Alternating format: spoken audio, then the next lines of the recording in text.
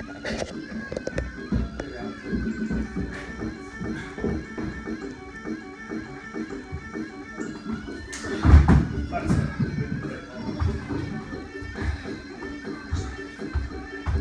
that's good.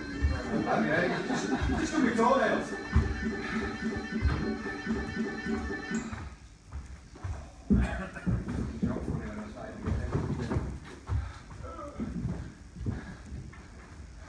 clarify, for those of you that aren't work, when it comes to the actual grading, and we do these demonstration pieces, they're not actually being marked on these, it's a bit of a rite of passage really. Uh, it's more about showing the commitment uh, and taking the risk. You've got blood? No, no, no. It's more about, it's more about the commitment and, uh, and willing to put your body on the line and taking the risk. And that's just showing that, again, you've got that confidence to be able to use it and try and not fall over.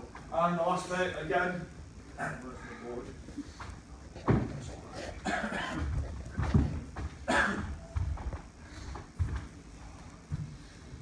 Uh, you may have seen a lot of martial arts do board breaks.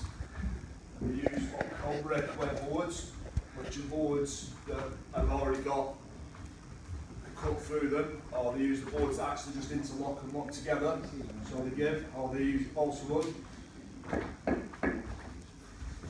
Solid piece of wood, there's no two ways about that, and it's uh, nice and thick. This is plain up inch wood, or probably, yeah, not about an inch thick.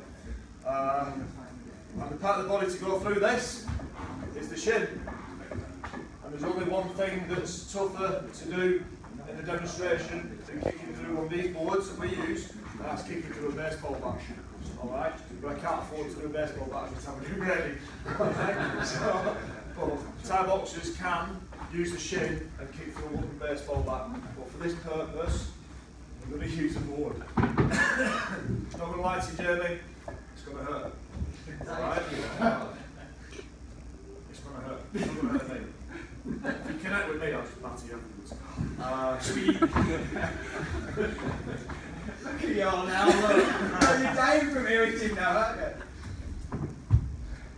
Make sure you get a clean shin across. Don't connect with your foot.